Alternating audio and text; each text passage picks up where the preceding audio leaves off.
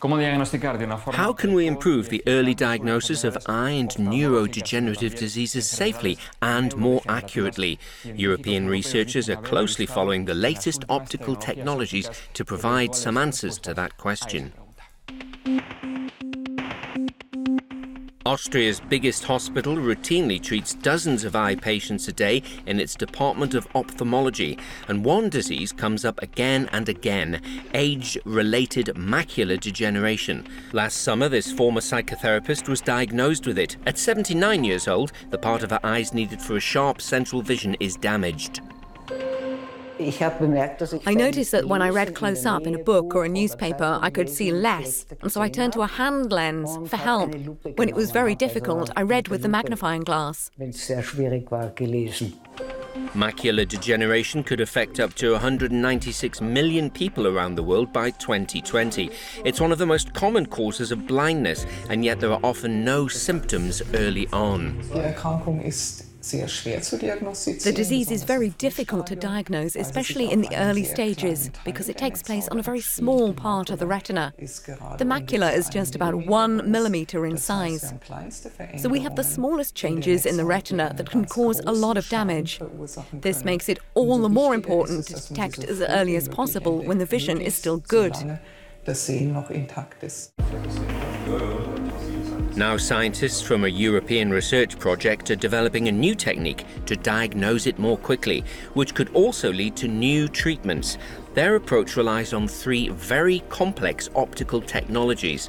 They would allow doctors to literally see what's inside the patient's eyes. That's at the molecular level.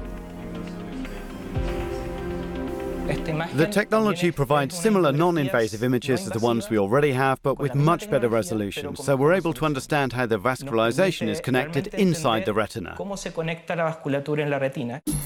The optical technologies involve using a Raman spectroscope, optical coherence tomography, and fluorescent imaging.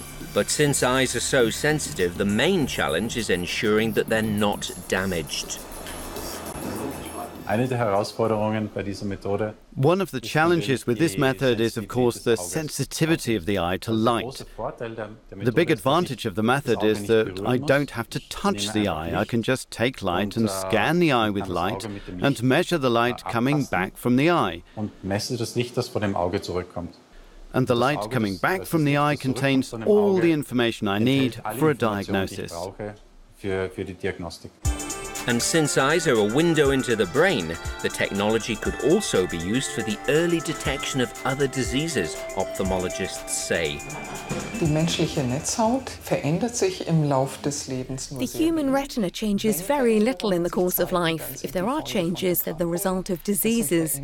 These are changes in the central vessels. For example, high blood pressure or diabetes can be seen very well in the retina.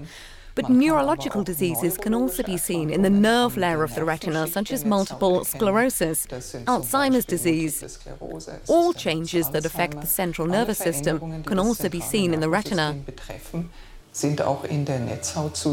Once the technology is ready, it'll be tested in a clinical trial involving around 100 people, some healthy and others with macular degeneration and Alzheimer's.